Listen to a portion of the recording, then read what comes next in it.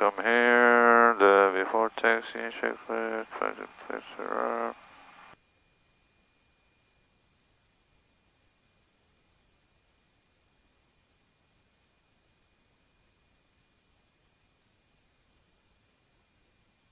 Gonna set my, gonna be an IFR, so it's gonna be different then.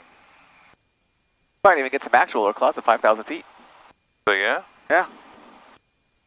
Bit warmer, but once we take off, it'll uh, cool Go, off. go Kilo, release your departure now. Report us on off in four minutes. Not off in four minutes. Report back this frequency. When entering controlled airspace, providing 270 and frequency change approved. Start in the air. Scott 62 Golf Kilo 270, avoid in 4 minutes. Thank you, switching. Alright. Daniel Travis, traffic, Scott 62 Golf Kilo, taxi from runup area to runway 23 for IFR departure 40 on airspeed alive. Uh oh, what you drifted to the right a little bit? Yep. Whoa, what's going on? That's some wind. Oh, there's a little bit. I've never seen that kind of takeoff before. Yeah. What was the wind? That was at the Variable. Variable? Yeah. That's more than variable. yeah. Yes. 65.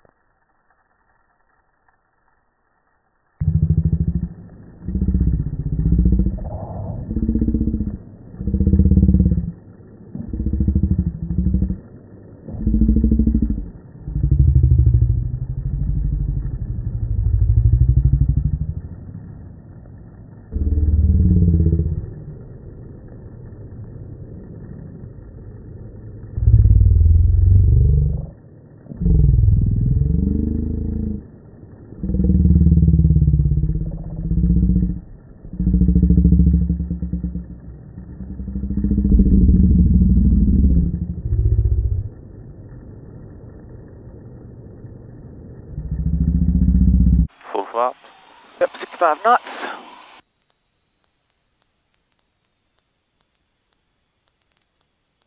Okay, looking for right wing down, left top rudder.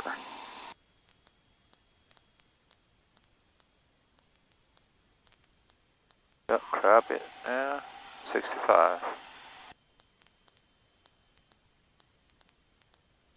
Just crab it. So you got a long runway, so. Yep.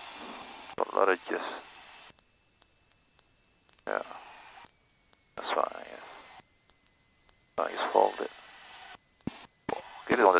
10,000 mark. Oh, Northward traffic, Sunday yeah. 81 Charlie, November. It's about 10 miles south of the field, uh, crossing the Kubab waypoint for the RNAV 35 approach at Orangeburg. You like with the left wind? Yeah, I know. That's, that was good. With that wind, ooh, I would have run out of the runway.